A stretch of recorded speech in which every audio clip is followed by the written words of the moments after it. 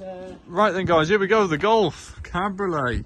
Um, this looks like a real straight car. Jordan's just brought it down from uh, from up the road, so that it fires up straight away. He's going to fire it up now for you. Um, what's it showing on the clock, Jordan? 90,000. 90. Yeah, Yeah. there you go. Yeah. Um,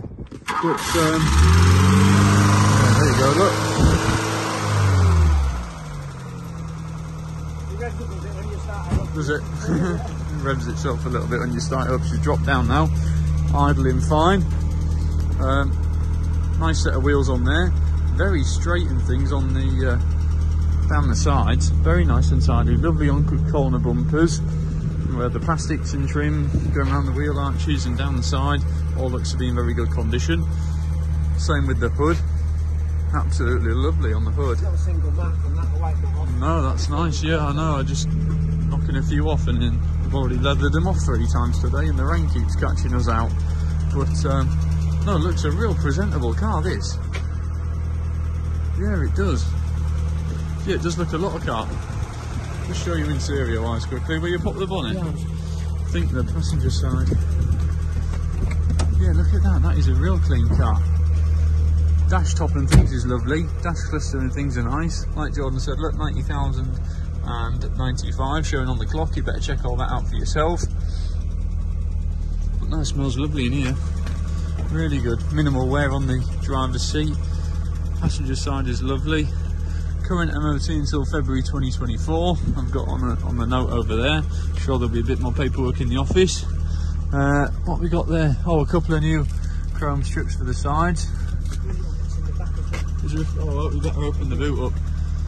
Lovely on the rear seats, all nice and tidy underneath there. Look as well, nice steering wheel.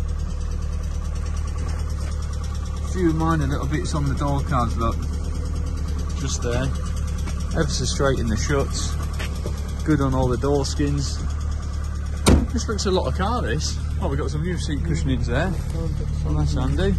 It's a trim, I think. Oh, that might be for that door card with a bit of luck. Driver's side door card, maybe. Looks a bit long, that. No, it's something else. Not sure. Anyway, mirror there. a Couple of other bits of trim and things, guys. Um, we got washer cap or oil cap or something there. Uh, oh, a couple of badges. Gear knob. Oh, a few bits and pieces in there. A few goodies for you. There you go.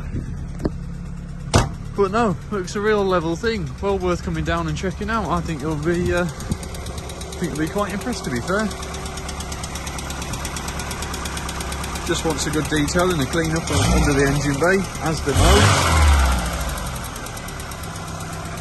Good on them front chassis legs. Nice and tidy on the strut tops and wing tops. Good under the bonnet. Well worth travelling for this.